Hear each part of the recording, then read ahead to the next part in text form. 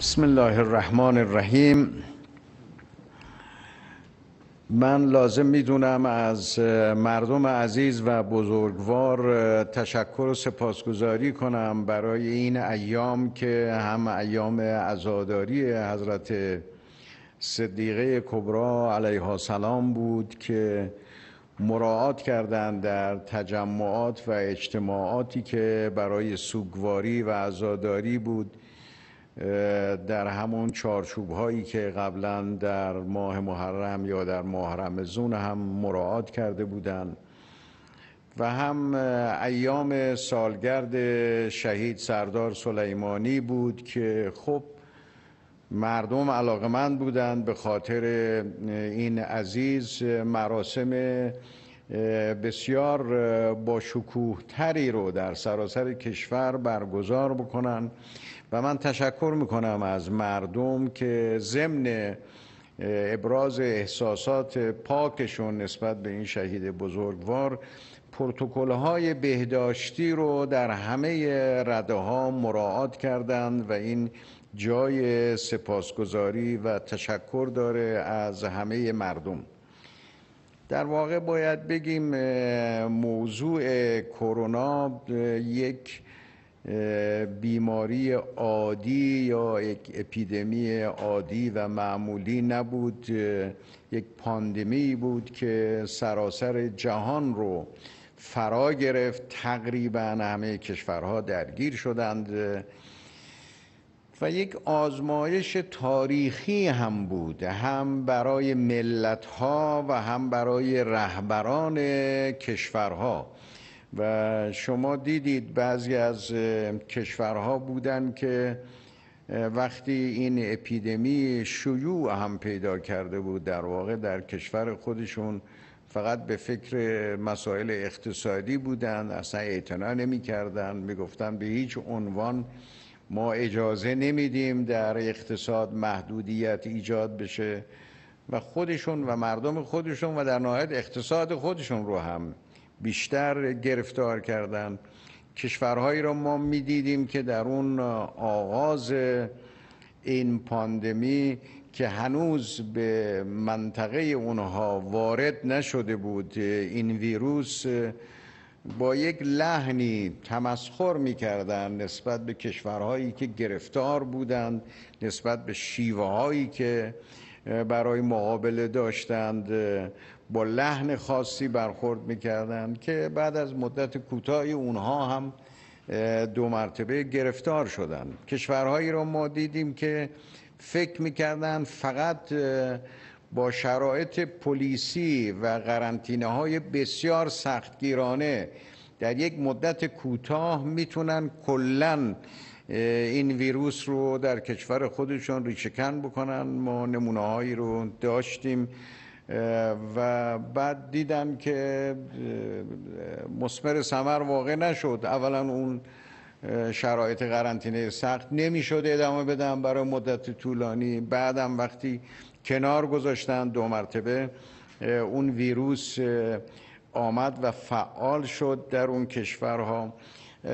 و بعضی از رهبران کشورها بودن که اساساً پروتکل هایی که اعلام می‌شد همه رو به سخره می گرفتن از فاصله گذاری گرفته تا ماسک همه اینها رو به باد مسخره می گرفتن و خب در میان همه این کشورها دیدیم اون کشورهایی که مردمشون در صحنه همکاری بیشتری کردند و اعتماد بیشتری به رهبران داشتند و رهبران اون کشورها نسبت به این بیماری توجه ویژه‌ای داشتند. ضمن اینکه به مسائل اجتماعی و اقتصادی هم فکر می‌کردند موفقتر بودند. و به حمدالله در ایران ما موفقیت خوبی رو داشتیم در این مدت. حالا چه در موج اول چه در موج دوم و اخیرا در موج سوم که با فعالیت همه ارگان ها که به صحنه آمدن و فعال شدن به حمدالله دیدیم که موج سوم رو سریعتر از اونچه که دیگران پیش بینی می‌کردن و فکر می‌کردن. مدت بسیار طولانی ما درگیر این موج سوم هستیم. به حمدالله تونستیم این موج سوم رو هم مهار بکنیم و ما امروز می‌بینیم بجز چهار شهرستان کل کشور اغلب زرد و برخی از موارد نارنجی هست که شرایط نسبتا شرایط مناسب و مساعدی هست که ما امروز باش مواجه هستیم. در موفقیت این کار نقش رهبری رو باید همیشه مد نظر قرار بدیم. رهبر معظم انقلاب اسلامی از آغاز هم تأکید کردند بر پروتکل های بهداشتی و هم تکلیف کردند شرعا و قانونا به همه که باید مراقبت بکنن. هم شخص خودشون بیشتر از همه توجه کردند و مراعات کردند و ما دیدیم که مجلس اعضایی تشکیل می‌دادند. خودشون بود و اون کسی که مداهی می‌کرد یا سخنرانی می‌کرد. این در واقع الگویی بود برای کشور و برای همه ما و این الگو بسیار تاثیرگذار بود و تشکیل ستاد ملی کرونا اقداماتی که این ستاد امروز پنجاه و یکمین جلسه ستاد ملی کرونا ما بود. حالا قرارگاه کمیته های مختلف که در طول این مدت فعال بودن همه دست به دست هم دادن و الحمدلله شرایط مناسبی رو ما امروز شاهد هستیم. در حالی که ما ببینیم در همین موجی که ما گرفتارش بودیم اروپا هم گرفتار بود. آمریکا هم گرفتار بود و اونا همچنان در مسیر تصاعد این ویروس و بیماری هستند هنوز به شکل کنترل و مهار نرسیدن. این عمدتا به خاطر اینه که مردم ما در صحنه مسئولیت پذیر بودن همکاری کردند کادر درمان ما با همه قدرت به صحنه آمدن. مخصوصا اینکه تست ها افزایش پیدا کرد. بسیار تاثیرگذار بود که ما کنترل و مهار بکنیم شرایط منتها باید به این نکته توجه کنیم که رسیدن به روند کاهشی وقتی یه جای اوج می‌گیره بسیار سخته و گاهی بسیار پرهزینه است. برای اقتصاد کشور برای فرهنگ کشور برای آموزش کشور برای روابط اجتماعی جامعه. بسیار پرهزینه است. ما وقتی یه پیکی رو می‌بینیم تا این نزول پیدا کنه و بیاد پایین و یک شرایط مناسبی رو پیدا بکنه خب خیلی نفسگیره برای همه. حالا کادر درمان از یک سمت اونایی که فعال می‌کنن فعال هستن در جامعه برای نظارت یا برای مراقبت یا برای کمک از سمت دیگر. و اونهایی که خسارت می‌بینند از لحاظ اقتصادی از سوی دیگر. همه اینها بسیار پرهزینه و سخته. و زمانبر هم هست. به عکسش اون وقتی که این شرایط مناسب بخواد به هم بریزه خیلی سریع در یک مدت کوتاهی به دلیل عدم مراعات حالا یا به خاطر مناسبت های خانوادگی مناسبت های طایفه‌ای ملی مذهبی فرق نمی‌کنه. هم به محض اینکه ما یه خورده آرامش پیدا می‌کنیم خب توقعات اینه که همه شرایط همه چیز عادی بشه. و وقتی عادی میشه دو مرتبه بر میگردیم و اون وقت این بار جبرانش بسیار سخته. هم وزیر محترم بهداشت هم معاونین هم سخنگوی محترم در این هفته های اخیر بارها تذکر دادم که اگر همه مردم همچنان با پایداری مراقبت نکنند احتمال داره یک موج دیگری هم در بهمن یا در اسفند ما باش درگیر بشیم. ما به این نکته توجه کنیم که هزینه در اواخر بهمن و در اسفند از لحاظ اقتصادی بسیار سنگینه.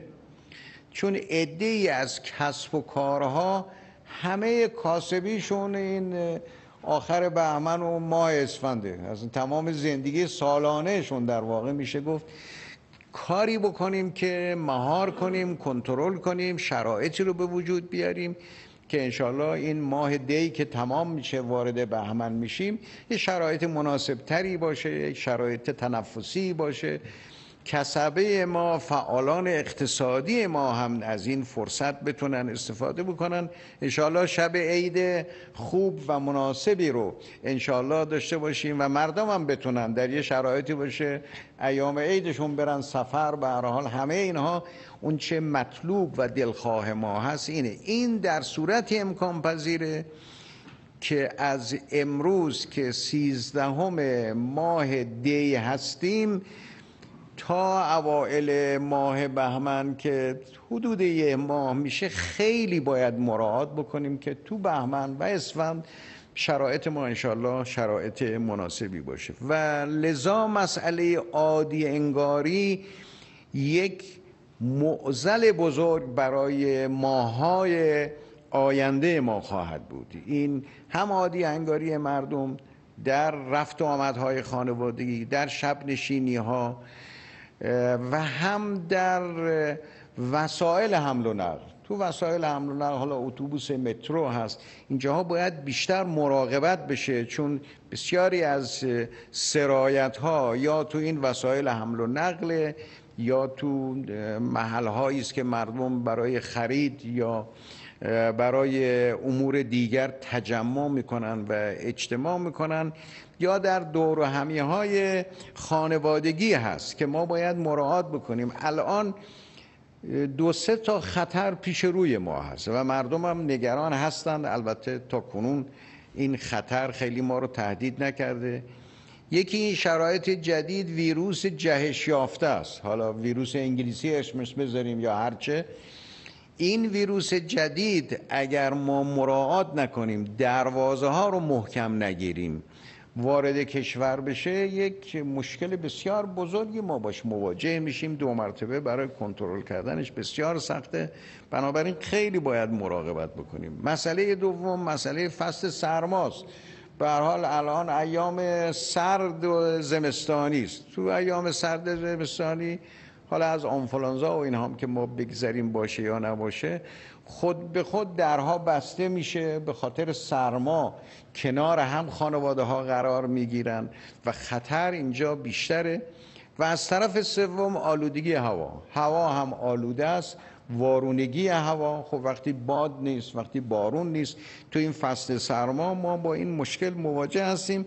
بنابراین من خواهش می‌کنم از مردم عزیز و بزرگوار ما و همه اونهایی که مسئولیت نظارت و مراقبت دارن انشالله با توجه بیشتر با مراقبت بیشتر بتونیم انشالله این ایام رو بگذرانیم و انشالله اسفند خوبی و ایام فروردین خوبی در انتظار ما باشه انشالله و السلام علیکم و رحمت الله.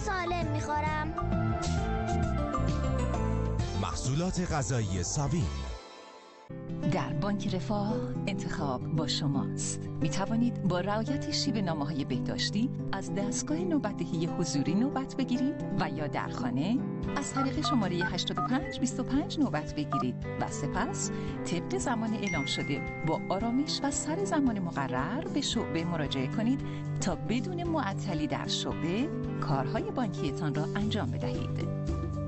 نوبتدهی تلفنی نوآوری دیگری از بانک رفاه. بانک رفاه کارگران. یادت نره برش داری خیالت راحت خانم. رو بردیش؟ گفتم که خیالت راحت بفرمایید جالبه. مگه اینجا هم شامپو پرژک پیدا میشه؟ بله خانم چون همه جای دنیا طبیعی بودن شامپو مهمه. پرژک. به طبیعت سلامی دوباره باید کرد. بایا و چند تا خبر خوب برای تأمین کننده ها، خدمات دهنده ها و فروشنده های عزیزمون.